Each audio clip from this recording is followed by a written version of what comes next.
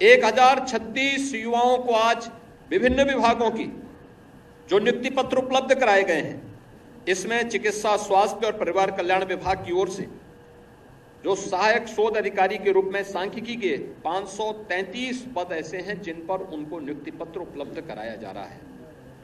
लघु सिंचाई विभाग, संस्थागत वित्त के साथ ही नियोजन विभाग के लगभग एक सौ तिरानवे जगहों पर आवास, मत्स्य, पर्यटन, सहकारिता और कृषि विपणन आदि सबको मिला दिया जाए तो लगभग कुल 228 पदों पर और वन विभाग के 37 पदों पर आज नियुक्ति पत्र वितरण की कार्रवाई यहाँ पर एक साथ संपन्न की जा रही है।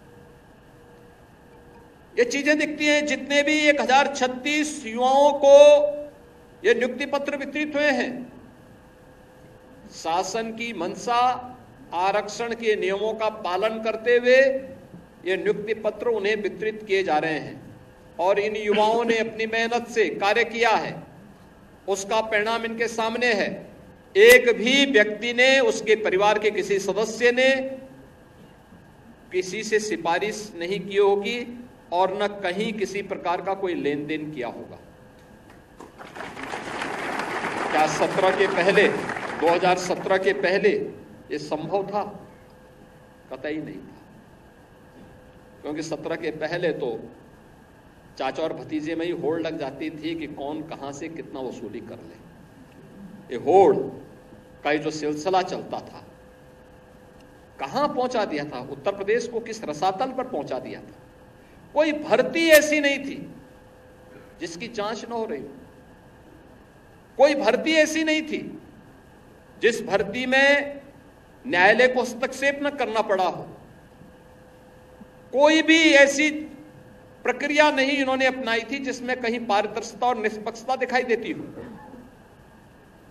लेकिन आज इससे दूर हट करके उत्तर प्रदेश ने जो प्रणाली अपनाई है, उसका परिणाम है कि हम लोगों को पिछले सात वर्ष में लगभग साढ़े छह लाख युवाओं को सरकारी नौकरी देने में, दो करोड़ से अधिक युवाओं को और उत्तर प्रदेश के अन्य तबके के जरूरतमंद लोगों को रोज़गार के साथ जोड़ने में, जो निवेश का बेहतर माहौल बना है, इसके साथ जोड़ने में हमें मदद मिली। और आज इसी का परिणाम है कि बेरोजगारी की दर उत्तर प्रदेश के अंदर आज न्यूनतम स्तर पर है।